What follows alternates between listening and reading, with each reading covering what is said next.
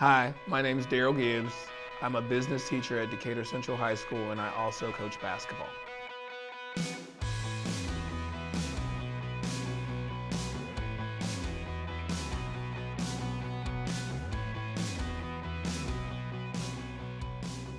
Decatur Central High School is a school on the southwest side of Indianapolis. It comes from a very diverse background of people. It's very bizarre because there's rich kids, there's poor kids, there's uh, African American kids, there's uh, Caucasian kids. It's it's just a melting pot of students that try that try to work together to accomplish different goals. The kids in this class they take marketing and they take um, media, different types of classes that are offered.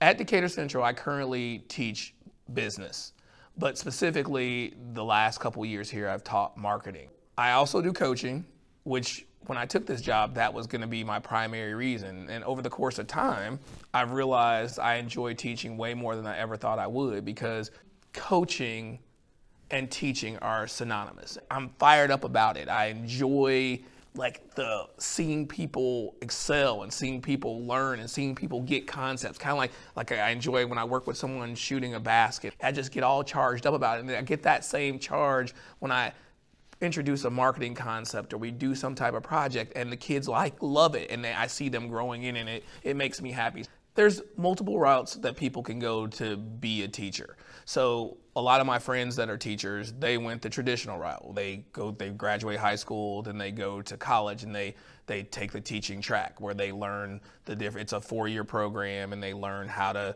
the different aspects of teaching. They learn how to be a teacher. And then there's the route that I took where my undergraduate degree was accounting and I worked as an accountant. Then I went into higher ed. And so then I took a certification in teaching program. It's a master's in teaching is what they call it. And basically they took all my coursework and since my majority of my coursework was in business, it segued me into being a business teacher. And they and they they just put all this stuff in a two-year program and then they set you free.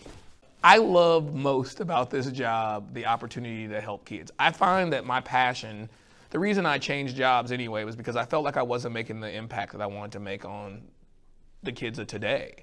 I learned a long time ago that I get my passion out of helping people and seeing people succeed, more so than I do out of my own successes. I'm now starting to see those kids that I taught in college and they come back and they say, hey Gibbs, thank you for like, I, I mean, I'm taking a marketing class and I'm doing really good in it because I learned something and I, it, it brings me joy to see that.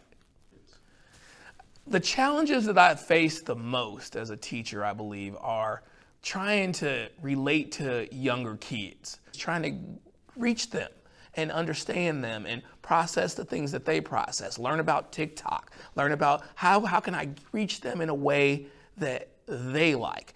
That aspect of me getting to know them and coming to them, teaching them at their level and reaching them at their level is one of the most challenging parts of this job. But it's also one of the most rewarding because whenever I do attain that, I get I, I feel like I'm I'm reaching them in a way that that makes sense to them and it makes it makes them happy as well as myself.